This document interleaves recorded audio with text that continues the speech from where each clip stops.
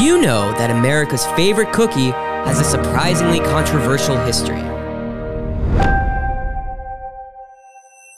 At the turn of the 20th century, mass produced cookies like Fig Newtons, animal crackers, and more are now available in grocery stores across the nation. 1898. Several of these large scale bakeries merged to form the National Biscuit Company, now known as Nabisco. 1908. Finally, the chocolatey, creamy cookie we all know and love is invented. Of course, I am talking about Sunshine Biscuits' legendary Hydrox.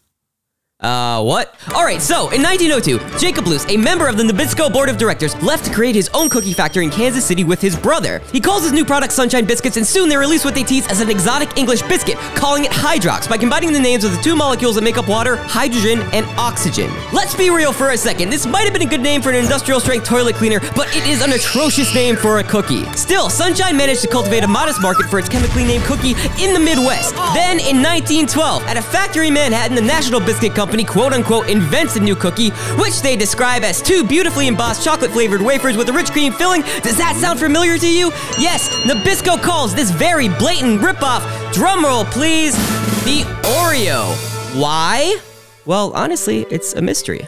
Some people think it's a play on the French word for gold, others think it comes from the ancient Greek word for mountain, still others believe that it's related to the Latin word for a laurel bush or a mashup of the words cookie and cream. The fact of the matter is, no one actually knows. But one thing is for certain, this copycatting ignites a fierce rivalry between the National Biscuit Company and Sunshine Biscuit that would last for most of the 20th century, even though it's less of a rivalry and more of a processed sugar beatdown. Anyway, 1923, Oreo places ads on trolley cars promoting the now infamous Oreo Twist. It's estimated by the company that more than 50% of Oreo eaters twist open their cookies before snacking. There really are two types of people in this world after all. Also in 1923, Jacob Loose, inventor of the Hydrox, passes away. He's still very rich and does not live to see the Oreo with a bigger supply, superior marketing, and an obviously better name send his Hydrox into cookie obscurity. Over the next several decades, Oreos become one of the most popular cookies in America, so much so, most people start to assume that Hydrox is the knockoff and not the other way around. Still, Hydrox holds a small market share, especially with Jewish snackers, as Hydrox are kosher and Oreos still have lard in their cream. Ew, that's disgusting. 1974, in the first major Oreo development in decades, Nabisco releases the gluttonous double stuffed Oreo, making us all wonder if we could ever go back to the single stuff and still be happy. I know I can. And for the record, double stuffed Oreos are actually about 1.8 times the stuff of normal Oreos. Sorry to ruin that illusion for you. Also in 1974, Dick Nixon is impeached. Turns out he was a crook. Sorry to ruin that illusion for you. 1985, Dairy Queen launches what is arguably the best fast food dessert in existence, the Oreo Blizzard. In case you didn't know, there is no Hydrox Blizzard. Obviously Obviously. Also in 1985, Oreos are now the best selling cookie in the world, according to the Guinness Book of World Records, with more than 6 billion cookies sold per year. 1996, Keebler buys Sunshine and rebrands Hydrox to Droxies. Unfortunately, no one really cares. 1998, Oreo takes the lard out of their cream, making their cookies kosher, and thus eliminating the one advantage Hydrox, excuse me, Droxies had.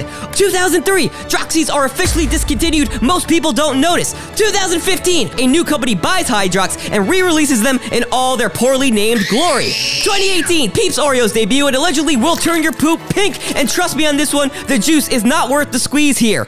In 2020, you can find Oreos in ice cream, churros, popcorn, and in a kaleidoscope of sometimes offensive flavors, including cookies and cream, which honestly does not make a ton of sense because aren't Oreos already cookies and cream? What is this, an Oreo flavored Oreo? Anyway, probably Jack from a smaller company's design, but ultimately perfected in taste and expertly marketed by Nabisco. We can't hold it against you too much, Oreos, because with half a trillion sold, you truly are America's favorite cookie. Just stay away from the Peeps flavor, okay? We don't need it. Thanks for watching, everyone. I hope you learned a little something today. Make sure you subscribe to our channel, like this video, comment with a topic you want us to hit next, and share it with a loved one. I'm sure they would like to hear from you.